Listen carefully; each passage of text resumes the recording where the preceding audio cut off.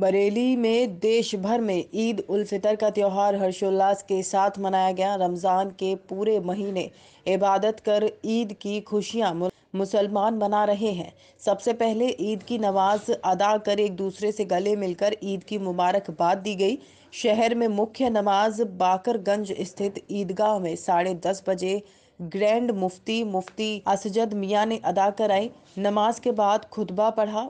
उसके बाद खसूसी दुआ मांगी। सभी से गले मिलकर ईद की मुबारकबाद दी। इस मौके पर जमात रजा मुस्तफ़ा के राष्ट्रीय उपाध्यक्ष सलमान मियाँ व महासचिव फरमान मियाँ ने भी सबको गले मिलकर मुबारकबाद दी। इसके अलावा बाज़ार संदल खान स्थित दरगाह वली मियाँ में सज्जान दानशाही अल्हाज अनवर बिन नूर मोहम्मद ने सुबह साढ़े छः बजे दरगाह ताजुश शरिया पर सात बजे मुफ्ती आशिक हुसैन ने साढ़े सात पर दरगाह शाह शराफत मियाँ ने साढ़े आठ बजे दरगाह बशीर मियाँ आठ बजकर पंद्रह मिनट पर खानकाह ए वामी किया में साढ़े नौ बजे खानकाह ए मियाजिया व किला की जामा मस्जिद में शहर इमाम मुफ्ती खर्शिद आलम ने वहीं साढ़े दस बजे दरगाह शहदाना वली नमाज़ अदा की गई।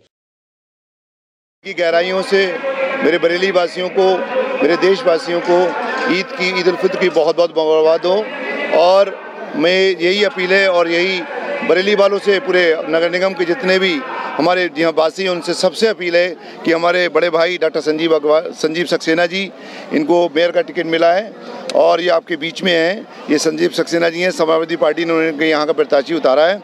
तो सब लोगों से इस ईद फितर के इस सुनहरे मौके पे मैं यही चाहता हूँ कि अगर बरेली को साफ़ सुथरा रखना है बरेली में अच्छी एजुकेशन चाहिए बरेली में अगर साफ़ सुथरा पानी चाहिए और अगर बरेली में साफ़ सुथरी सड़कें चाहिए तो हमारे प्रत्याशी समाजवादी पार्टी के संजीव सक्सेना जी इनको आगे आगे आने वाले इलेक्शनों में चुनना है और तभी और समाजवादी पार्टी समाजवादी इस देश में आएगा तभी ये देश खुश रह सकता है तभी बरेली खुश रह सकता है तभी हम लोग खुश रह सकते हैं।